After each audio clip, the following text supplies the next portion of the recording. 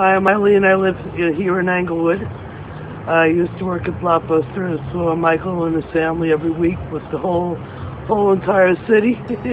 used to bring us all together. It was great times. I hope you all vote for Michael this season. Thank you. Have a great day.